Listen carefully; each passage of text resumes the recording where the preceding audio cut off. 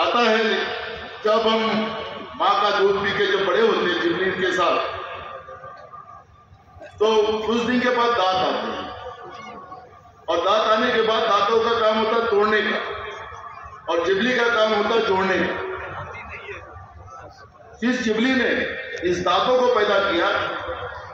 उस Ghibli को भी दांत काटने को आगे पीछे नहीं देते। और जैसे जैसे हम हमारी उम्र बढ़ती है, वैसे वैसे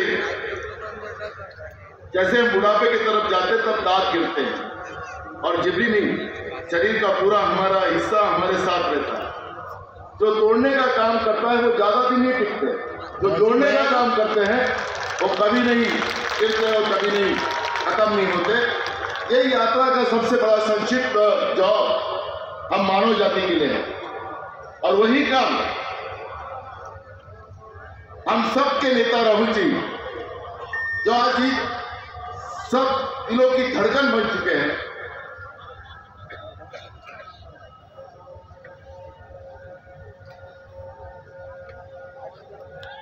पदयात्रा जी सुरू झालेली आहे।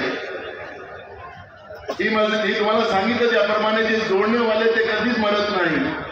तोडणेवाले लवकरच जातात ही भूमिका घेऊनच राहुलजी या देशाचं संविधान या देशाचा तिरंगा वाचवण्यासाठी निघालेले आदरणीय तुषार गांधीजी जे महात्मा गांधीजींचे पंतू आहेत त्यांनी आपल्याला एक चांगलं उदाहरण या ठिकाणी सांगितलं की तुटण्याची वाट बघणारे जे लोक असतात हे शुद्ध तुटला ते शूटर तुटला असं सांगणारे लोक हे तोडण्याच्या तयारीत आहे आणि म्हणून तुटला नाही पाहिजे म्हणून राहुलजीने या देशाला देशाच्या सगळ्या धर्माच्या लोकांना एक सोबत घेऊन एक जोडण्याचं काम सुरू केलेलं आहे.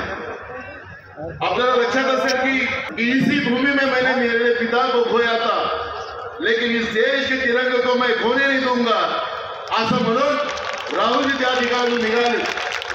आणि त्याच्यातून देशातली लोक त्यांच्यासोबत चालायला मी देगलूरपासून तर आज इथपर्यंत जेव्हा राहुलजीपर्यंत सोबत होतो असंख्य लोक गरीब असेल शेतकरी असेल बेरोजगार असेल त्यांना पेन्शन मिळत नाही जुनी पेन्शनवाले लोक असतील असंख्य लोक असंख्य लोक विविध जाती धर्माची लोक राहुलजींना भेटले त्याचं काम राहुलजींनी केलं. आणि तुम्ही त्यांचं ते वाक्यच आहे त्याला आणि त्या आधारावर राहुलजींनी सगळ्यांचं समाधान करून आपका भी दिन आएगा। अब तो दूसरे के अच्छे दिन आ गए आपको झूठ बोलकर खुद के अच्छे को बर्बाद किया। जब राहुल गांधी सोयाबीनचे शेतकरी मिळाले कापसाचे मिळाले धानाचे मिळाले उसाचे मिळाले अनेक शेतकरी मिळाले त्याच्यामध्ये आपल्याला लक्षात असेल की गेल्या वर्षाला बारा हजार रुपये क्विंटल आपलं सोयाबीन होतं. या वर्षाला ते चार हजार म्हणजे अच्छे दिन कोणाचे आले?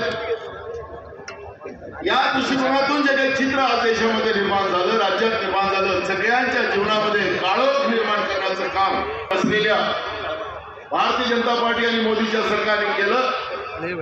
तुम्हाला प्रकाशाकडे नेणं तुमच्या जीवनामध्ये सुख समृद्धी आणणं तुम्हाला सगळ्यांना न्याय देणं आणि सगळ्यात मोठं त्या संविधानासाठी तुम्ही आम्ही आणि या देशाच्या स्वातंत्र्यासाठी आमच्या पूर्वजांनी जे बलिदान दिलं. त्या संविधानाला वाचवण्यासाठी राहुलजी निघालेले आहेत. आणि तुम्ही एवढ्या संख्येनं याच्यापेक्षा दोन पट लोक तुम्ही जे आहात त्याच्यापेक्षा दोन पट लोक अजून बाहेर आहेत.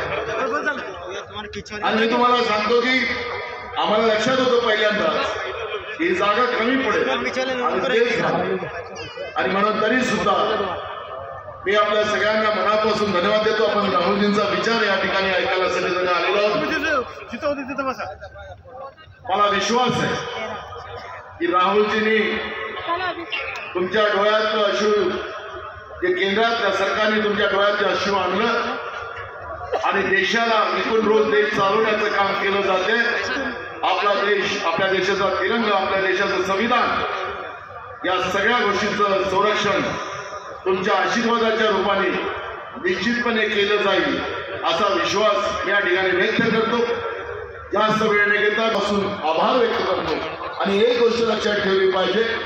बाहेर पण गर्दी आहे इथं पण मोठी गर्दी आहे. त्यामुळे निघताना आपण लोकांनी थोडं लाईसी निघा. आरामात निघा काही अडचण नाही. काही घाबरण्याचं काम नाही कोणाला.